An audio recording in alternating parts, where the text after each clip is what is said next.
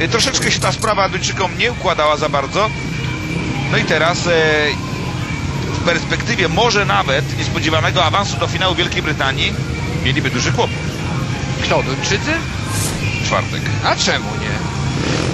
Ktoś kiedyś zawsze, ktoś kiedyś zawsze musi mieć kłopot. 15 wyścig, a więc za chwilę rozpocznie się ta dosyć długo rozgrywana trzecia seria startów e, w Kings Lynn. Kas czerwony, pierwsze pole Tero Arnio z Finlandii. E, drugie pole e, i biały kask, ten oczekiwany przeze mnie Lee Richardson. Pole trzecie, kask niebieski Chris Holder i z zewnętrznego, spod płotu w żółtym Anton Lindberg.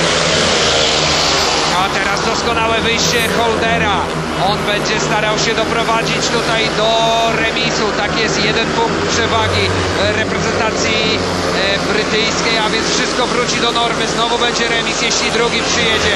Lee Richardson, ale ściga go, ściga go teraz e, zaciekle Antonio Lindbeck, ale co zrobił Lindbeck? Spadł na ostatnie miejsce, wyprzedził go Tero Arnio, a więc sensacja na torze w Kings Lynn. Jak pojedzie Arnio, na razie umiejętnie się jeszcze broni.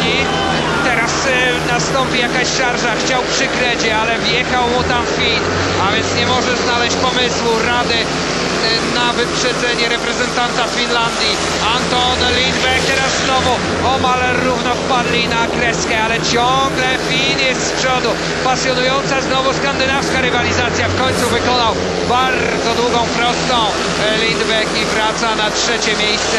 I on ten jeden punkt po wielkich męczarniach dla Szwedów przywozi. Remis między Australią, trzy punkty Holder, dwa Richardson, jeden Antonio Lindbeck i bez punktów przybył na metę Tero Arnio z Finlandii. Za beznadziejna jazda Lindbecka. Dopiero jakimś, jakimś takim cięciem szabli, e, jednym ruchem pokonał tego bardzo ambitnego, bo trzeba przyznać, że człowiek, który został wczoraj wezwany do reprezentacji Finlandii, dzisiaj, no chyba tutaj on i Kelmakorpi stanowi najmocniejsze punkty w drużynie fińskiej. Przypominam, Tero Arnio powalczył, e, postraszył troszeczkę Antonio Lindbecka, który dzisiaj no, jeździ bardzo bezbarwnie. Nie takiego Lindbecka się spodziewaliśmy. Szwedzi nadal z tyłu. 20 punktów na swoim koncie i aż 12 punktów straty do drużyn Australii i Wielkiej Brytanii. Tak jest, 20 punktów i to z Jokerem, co widzimy Paweł na naszej grafice, to z pewnością nie jest sytuacja, która zadawala szwedzkich kibiców. Myślę, że troszeczkę będzie tutaj niektórym wstyd, jeśli się nie otrząsną. Dał im dobry znak, tak jak mówiliśmy, zagrał na rogu Fredrik Lindgren, ale gdzieś ta mobilizacja, ta, ta motywacja jednak uciekła z czasem. No ale jeśli ma się takie ogniwa słabe w zespole, jak chociażby Daniel Nermark, czy słabiutki dzisiaj Lindbeck, jak mówisz, no to trudno o taką zdecydowaną, dobrą zespołową jazdę do przodu i zdobywanie dużych ilości punktów. Dwumetrowy menadżer Peter Jansson powinien wstrząsnąć nieco swoimi zawodnikami.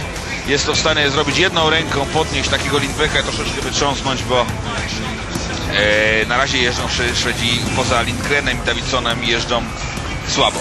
Mieliśmy widok z pokładu motocykla Chrisa Holdera, domyślamy się.